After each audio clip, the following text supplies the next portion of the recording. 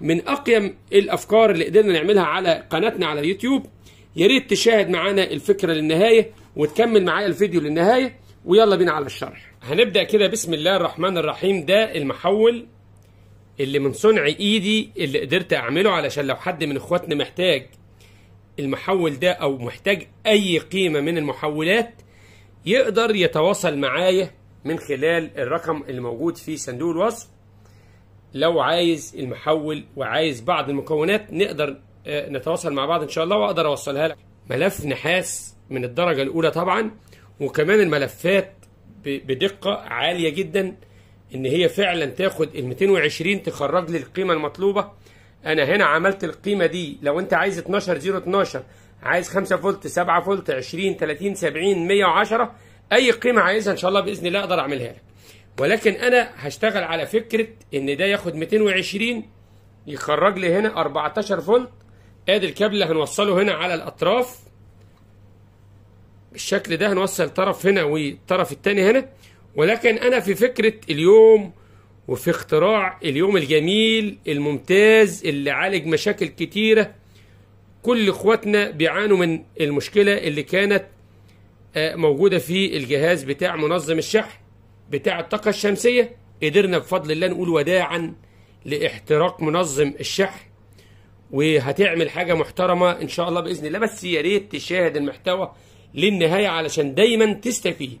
لو مهتم يا ريت ما تخرجش من الفيديو وكمان وأنت شغال بتشاهد الفيديو تقدر تدعمنا وتعمل اللايك يبقى كتر ألف خيرك. أنا أنا بقى هحتاج إيه في فكرة اليوم علشان أقدر أنفذ المشروع القيم؟ هجيب منظم الشحن بتاع الطاقة الشمسية. هنا كان في مشكلة كل إخواتنا بتوع الطاقة الشمسية بيعانوا منها وأنا واحد من الناس اللي اتحرق عندي أجهزة كتير بنفس الشكل لأن هنا لازم أدخل أطراف بتاعة آه، الموجب والسالب بتاع الخلايا الشمسية وهنا الموجب والسالب بتاع البطارية وهنا الموجب والسالب بتاع أي لمبة LED عايز أشتغل عليها وكمان هنا ال USB اللي بنشحن منه الموبايل. كده أنا هبدأ آه، أوصل الخلايا الشمسية هنا وأوصل هنا الاطراف بتاعة البطارية. ولكن كلنا كنا بنعاني من مشكلة إن أنا بجيب المشابك دي وأبدأ أوصلها الأول هنا على الأطراف بتاعه الخروج بتاع منظم الشحن. وهقول لك المشكلة الكبرى اللي كلنا بنعاني منها قدرنا نعالجها إزاي. هنا أنا لما بوصل الطرف ده على الطرف السالب والطرف الموجب بتاع المشابك دي وأجي أوصلهم على البطارية. إيه اللي بيحصل؟ لما بوصل لهم المنظم ده بيشتغل. لكن لو الكابلات دي اتوصلت على الموجب والسالب بتاع الخلايا الشمسية والطرف ده فلت أو البطارية تلفت أو حصل أي خلل أو المشبك ده فلت من البطارية أوتوماتيك الجهاز ده بيولع. الجهاز ده بيولع. وده الغلطة الوحيدة اللي موجودة في الأجهزة اللي زي دي إن الجهاز ده بيولع لو البطارية اتفصلت والدخول بتاع الطاقة الشمسية موجود عليه. طب انت هتعمل إيه تقدر تعالج المشكلة دي؟ هقدر احل لك المشكلة دي واقدر اعالجها بفضل الله في فيديو اليوم. ولكن نعمل إيه علشان نقدر نحل المشكلة دي بحيث ان المشبك ده لو فلت من البطارية والأطراف بتاعة الدخول بتاع الطاقة الشمسية أو المحول ده متصلة هنا المحول ده ما يولعش. إن شاء الله بإذن الله هعملها لك بكل بساطة وبكل يسر. هنبدأ هنا نجيب معانا المكون الرئيسي اللي هنعمل منه فكرة اليوم هو الريلي. الريلي ده بياخد 12 فولت. مجرد ما ياخد 12 فولت يفضل موصل الخط ده على ده. موصل الخط ده على الخط ده.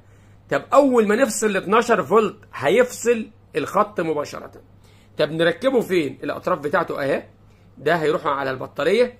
والطرفين دول هنوصلهم فين يا باشا؟ هنوصلهم على الدخول بتاع ال 220 هنقطع خط كده من خطوط ال 220 ونبدأ نوصل طرف على الرجل دي وطرف على الرجل الثانية وطالما إن الخط ده متصل على بطارية يبقى هيفتح الكهرباء ال 220 طب واحد حبيبي من إخواتي اللي بيشوفوني الآن هيقول لي أنا شغال على طاقة شمسية مش شغال على التونجر أو المحول اللي أنت مصنعه.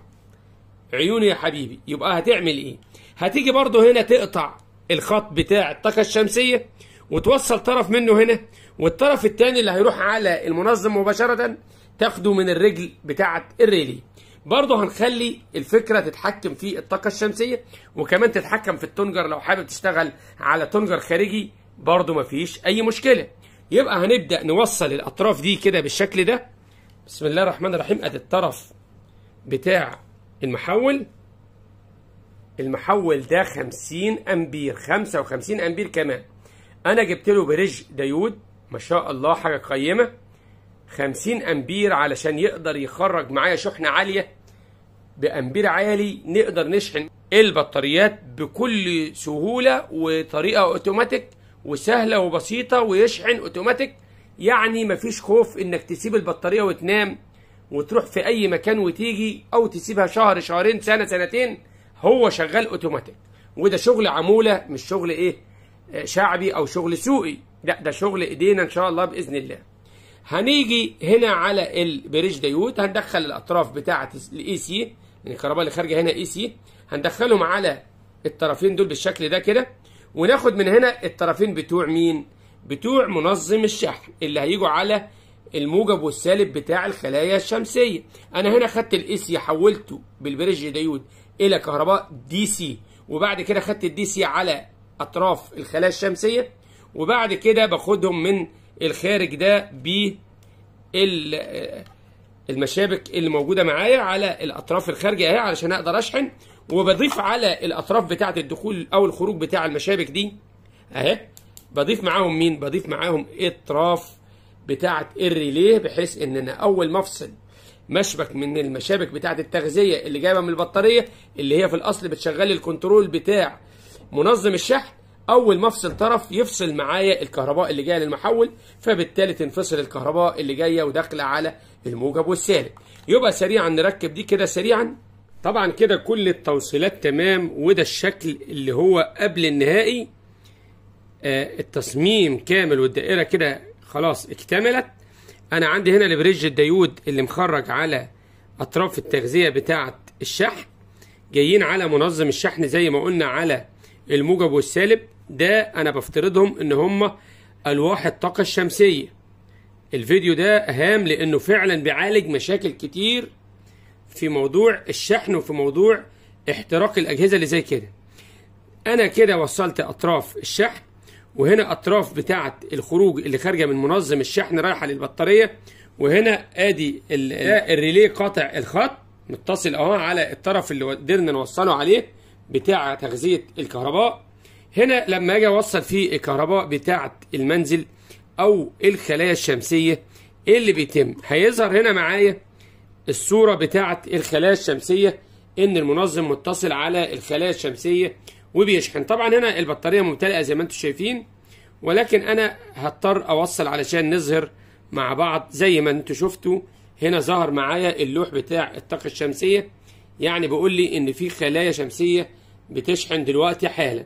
ولكن أنا استبدلت الخلايا الشمسية بالمحول أو خافض الجهد اللي قدرنا نعمله ونلفه على إيدينا من النحاس الدرجة الأولى والخامات المحترمة.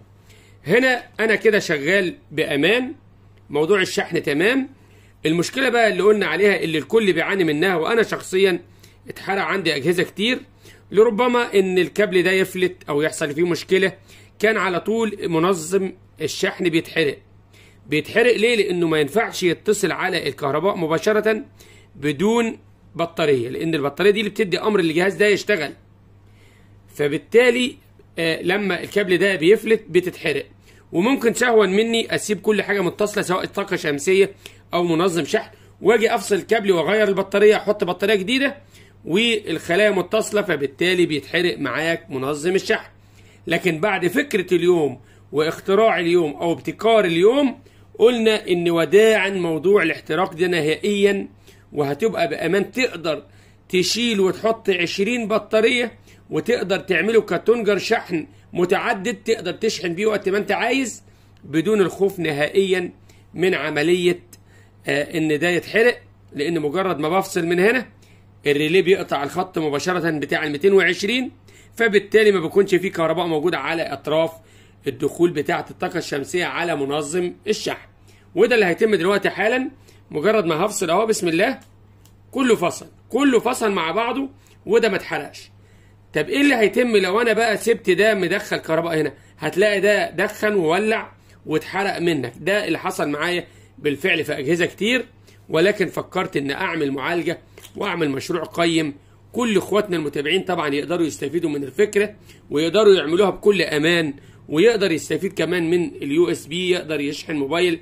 كمان هنا في خط 12 فولت تقدر تضغط هنا وتنور بيه أي لمبة 12 فولت على الطرفين اللي في الآخر اهم كل منظم شحن هتلاقي فيه خط للإنارة ل 12 فولت. بيشتغل من الزر ده أهو. أول ما بضغط بيجيب لي علامة اللمبة أهي. قدام منك. أول ما بفصل بتفصل. هنا طبعا جايب لي الخلايا الشمسية والشحن جاري. زي ما أنتم شايفين هتبدأ ترفع وتوصل معايا لدرجة الشحن المطلوبة ويفصل أوتوماتيك. نيجي بقى نقفل الحاجات دي كلها في صندوق شكله كويس بتاع منظم كهرباء ونشوف هنعمل الشكل النهائي هيبقى عامل إزاي سريعا. كده الفرغه بتاعه المحول ال stabilizer القديم البايظ. أنا هنا هستفيد من المؤشرات. هاخدهم مع خط الدخول بتاع المحول بتاعي أو التونجر بتاعي. علشان أبقى عارف الكهرباء اللي داخلة كام ولما الكهرباء تفصل التغذية يبقى عارف إن الكهرباء فصلت اوتوماتيك مع البطارية والمشابك بتاعة البطارية. يبقى سريعا هنثبت ده كده مع بعض. كده ثبت المحول بالشكل ده. هنا الأطراف اللي خارجة الموجب والسالب خدتهم على منظم الشحن في الجهاز خدتهم على أدي الأطراف بتاعة الموجب والسالب. هنا الطرفين اللي خارجين تحت أهم. ده اللي مغذيين الريلي علشان أول ما اوصل ده على البطارية يشعر إن في بطارية موجودة فبالتالي يشغل الكهرباء. وأول ما يشعر إن أنا فصلت البطارية فبالتالي يفصل الكهرباء. خدت الأطراف بتاعه مؤشرات ال 220 وصلتهم على التغذية بتاعه المحول. هنا شغال كابل اللي كان موجود في المنظم أنا برضو حبيت أستفيد منه شغلته وكمان شغلت الزر اللي موجود معانا بحيث أضغط كده يشتغل أفصل يفصل. هنشوف دلوقتي بعد ما نقفل الطريقة هتشتغل إزاي بطريقة عبقرية. فكرة يعني أنا بقول لحضرتك إن هي حصرية. كده أنا وصلت الجهاز على البطارية الموجب والسالب. هنا نرفع بقى كده علشان نشوف في التصوير. بسم الله الرحمن الرحيم. أها. هنا البطارية ظاهرة قدام مني فيها كام؟ وكمان البطارية ممتلئة الشرط بتاعتها ممتلئة أهي. هنا المؤشر بتاع ال 220 مش شغال لأن الجهاز ما خدش أمر تشغيل لأني ما وصلتش الكابل بتاع الكهرباء ال 220 لكن لما نوصل كهرباء 220 أهو بسم الله كده اشتغلت ال 220 وبدأت الألواح بتاعة الطاقة تظهر وعملية الشحن شغالة بطريقة محترمة. هنا المؤشر بتاع ال 220 اترفع يعني الكهرباء متصلة على المحول والمحول بيخرج وبيشحن. طيب أنا كل مرة لازم أشيل الكابل وأحط الكابل؟ لا طبعا مش لازم لأن إحنا عملنا التحكم في الكابل ده من خلال البطارية علشان نقدر نحمي الجهاز ده إنه ما يتحرقش مني تاني. يعني مجرد ما أفصل كده ال 220 هتفصل كمان وعملية الشحن هتفصل والجهاز ده هيبقى في أمان ومحمي بطريقة سليمة بطريقة آمنة وطريقة سليمة. طب نجرب مع بعض كده نركز في مؤشر 220 فصل أوتوماتيك. فصل أوتوماتيك ولو ما فصلش هيحرق ده هيضرب ده. ده المشكلة اللي كان كل الناس بتعاني منها. يبقى إذا الجهاز ده هيقدر يشتغل معانا على الطاقة الشمسية هيشتغل معانا كتونجر نشحن منه بطريقة آمنة برضه حاجة ممتازة وهيشتغل معانا بدون معاناة وبدون تلف نهائيا لأن إحنا عاملينه بطريقة يعني بفضل الله أعلى تقنية وأعلى يعني دقة في التنفيذ. هنا هنيجي نوصل تاني كده مع بعض.